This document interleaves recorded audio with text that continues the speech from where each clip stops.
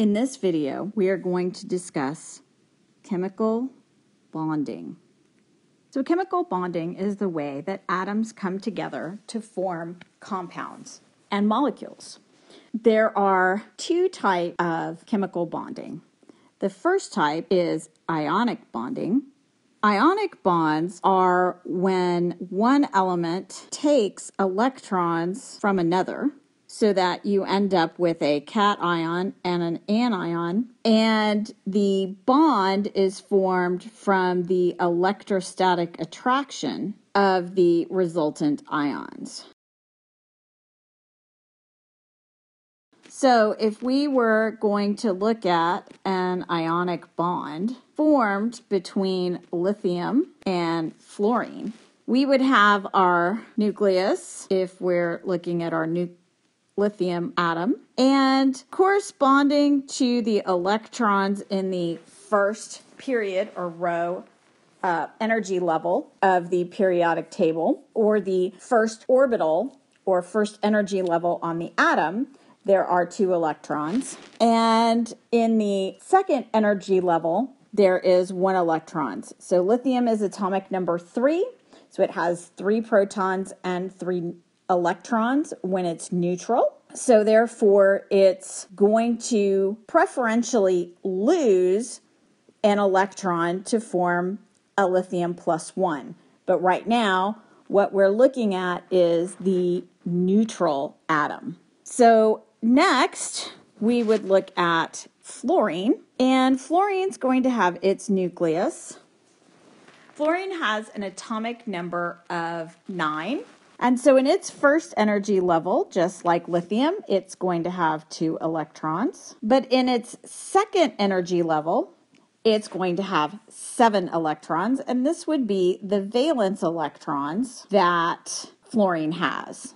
So, one, two, three, four, five, six, seven. And because it is one square away, if you look at your periodic table, fluorine is one square away from having a complete valence shell. Remember, a complete valence shell is eight valence electrons for everything except hydrogen and helium, then what's going to happen is in order for lithium to form lithium plus one and fluorine to form fluorine negative one, what's going to happen is one of these electrons from the lithium is going to go over to the fluorine so that what we end up with is our lithium plus one ion and a fluorine with eight valence electrons instead of seven. Now, this now has a positive charge,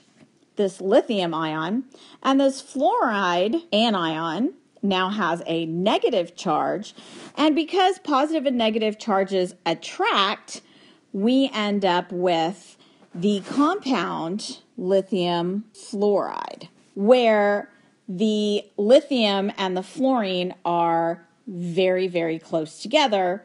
And what they actually form is a crystal lattice where you have a lithium ion and then a fluoride anion and then another lithium ion, and then another fluoride anion. And these will form layers. And on top of, so this would be a single layer of a lithium fluoride crystal. On top of this fluorine would be a lithium. On top of this lithium would be a fluorine on top of this fluorine would be a lithium.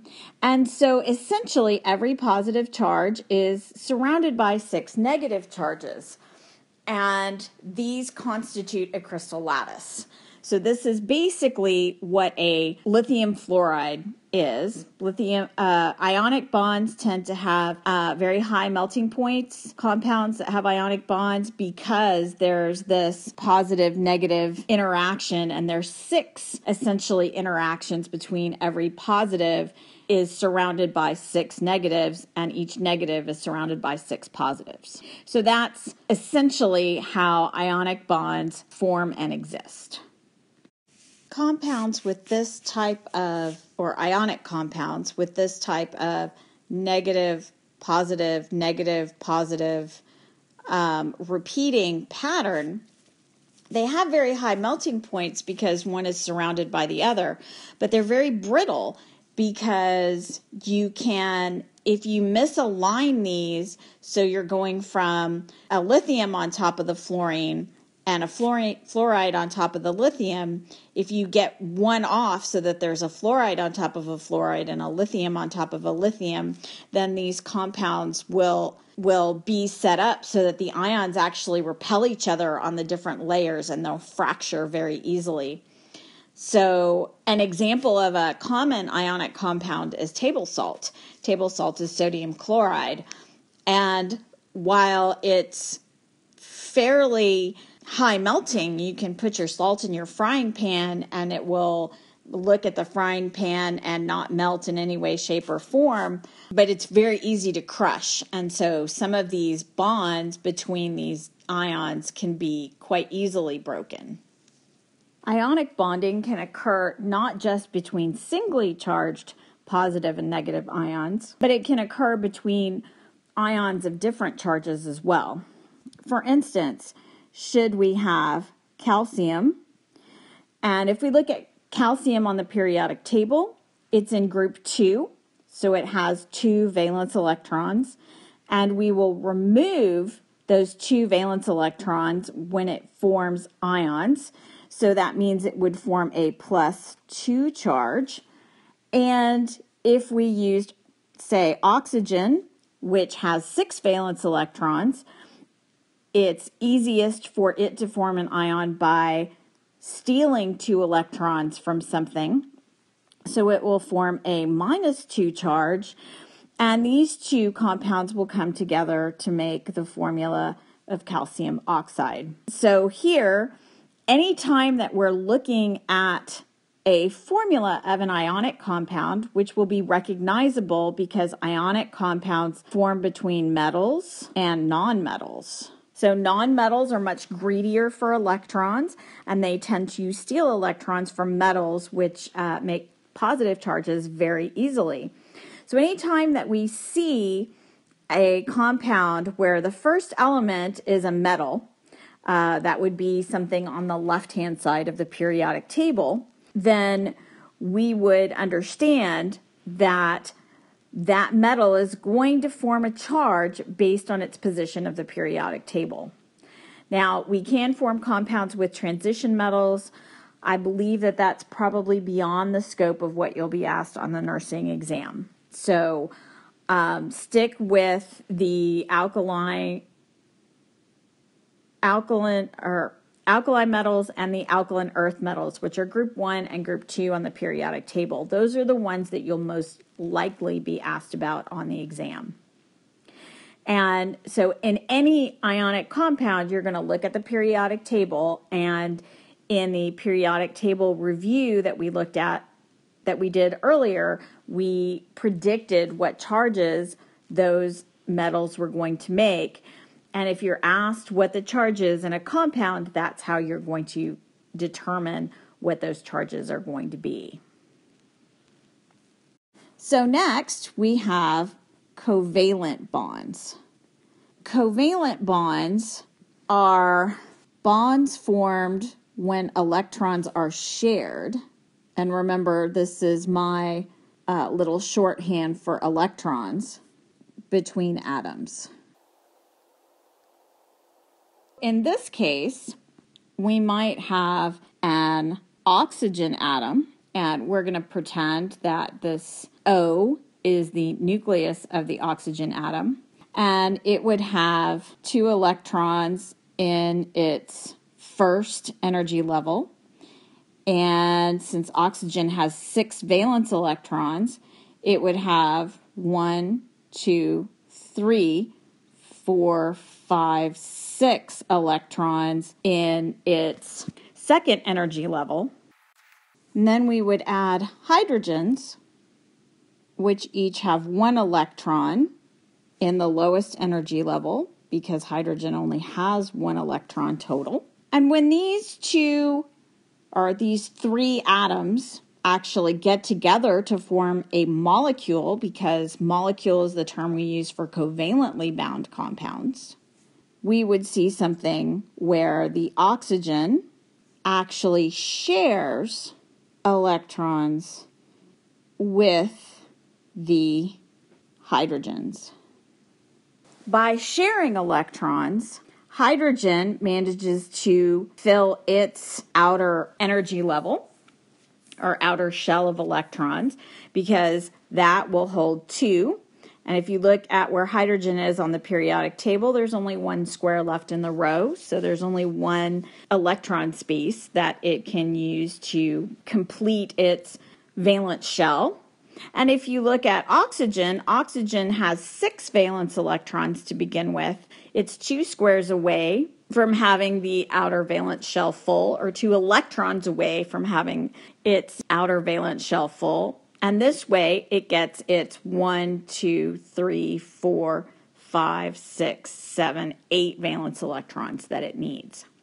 So in a covalent compound, electrons are shared in a ionic compound, uh, the electrons actually uh, are transferred between one element and the other element um, to form a compound and a complex structure where the ions are surrounding each other.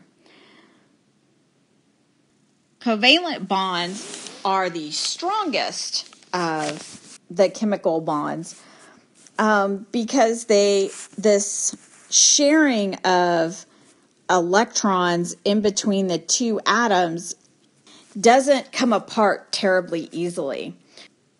Even when you heat water to very, very high temperatures, you still end up making steam, but steam is still H2O. And a type of crystal that's formed out of totally covalent bonds would be an example of a diamond. And as you know, diamonds are exceedingly difficult to break.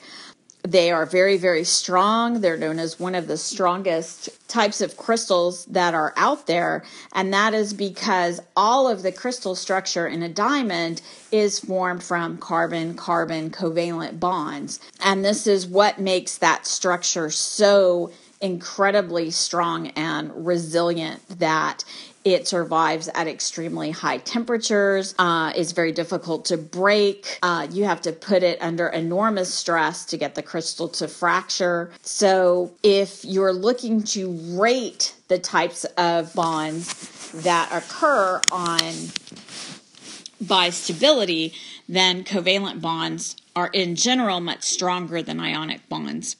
Also, they are the bonds which most biomolecules, such as proteins, DNA, carbohydrates, uh, most of those structures are made up of covalent bonds.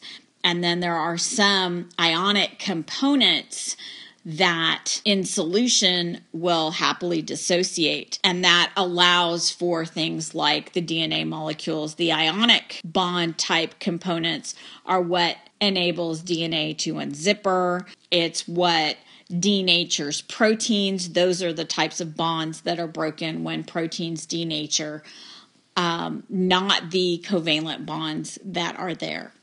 So here are the review questions at the end of this video. Pause your video, look at them, complete them on your own, and I will return in 10 seconds to discuss the answers to the questions. So, if we look to answer question number one, what is the charge of the oxygen atom in the compound MgO?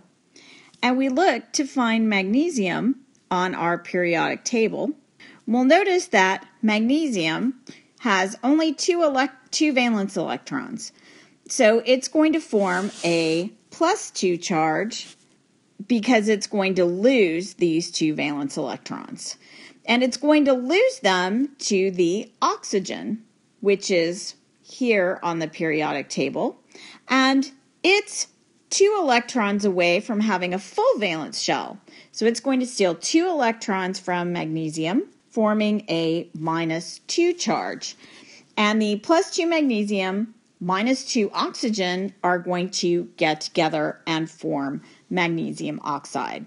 So the answer to the question, what is the charge on the oxygen atom in the compound MgO, is that it's going to be a negative 2 charge. If we look at the second question, what is the strongest type of chemical bond? The strongest type of chemical bond that we've discussed here is a covalent bond.